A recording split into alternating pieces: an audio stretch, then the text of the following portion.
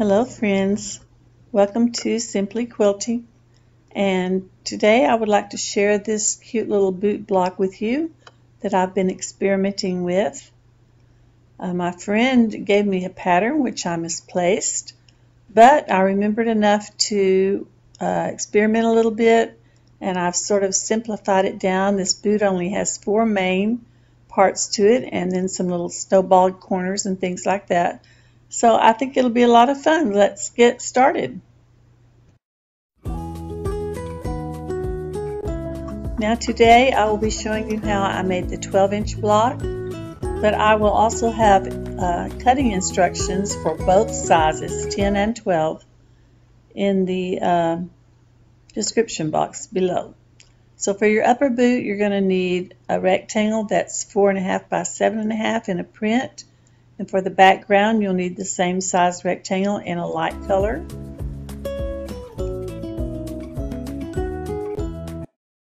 And for the lower part of your block, you will need a 3 by 6 inch rectangle in color or print.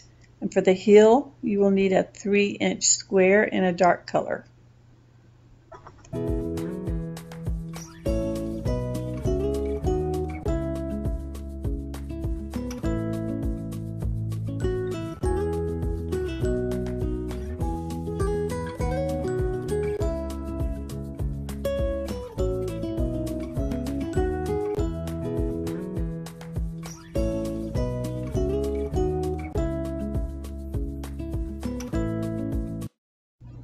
I used some little two inch squares for my snowballed corners.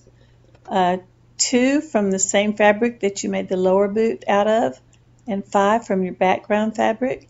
I like to press mine from corner to corner. You can also uh, draw a line from corner to corner. That works as well.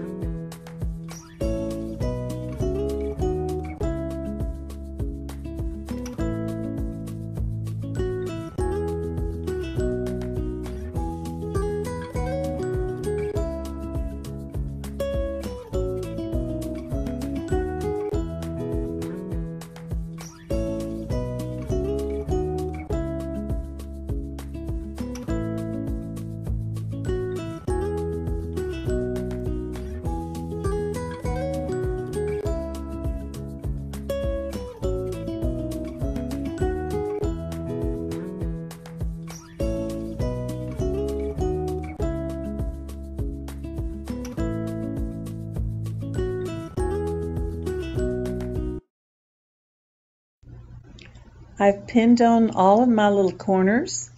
Now I will chain stitch all of those at the same time and then I'll just clip those extra little wings off of the um, back side of those little triangles.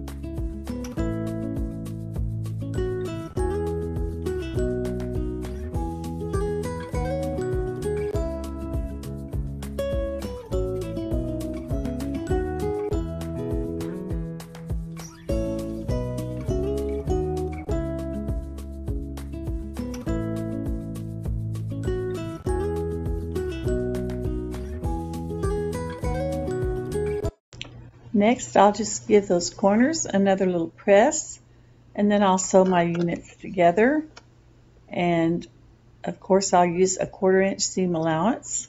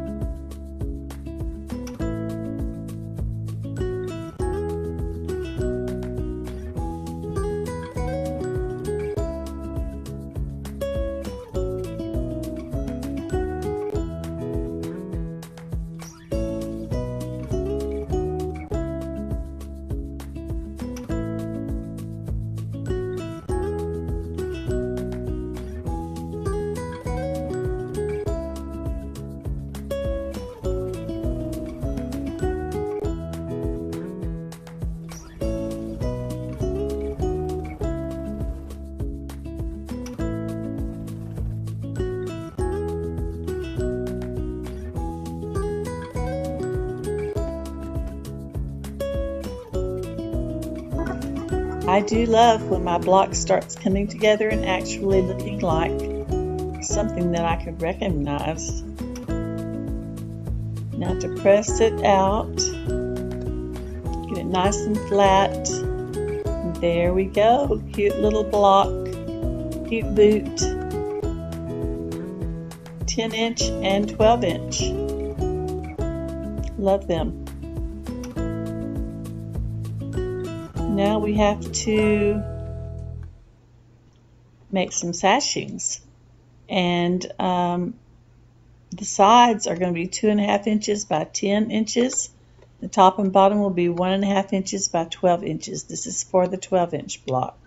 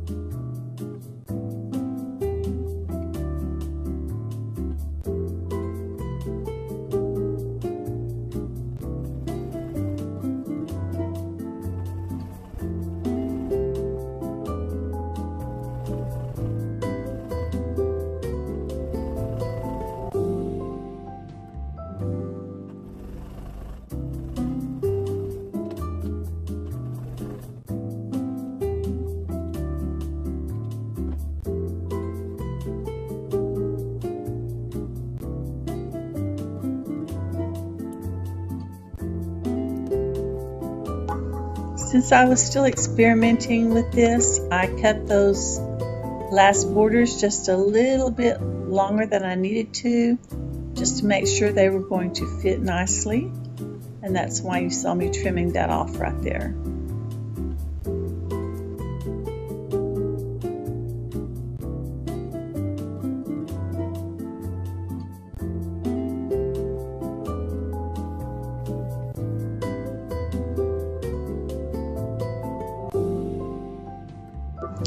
Now if you wanted to make your blocks 12 and a half inches so that they would fit into your quilt as a 12 inch block, all you have to do is add a half an inch to the width of all of your sashings and then you should get a nice 12 and a half inch block.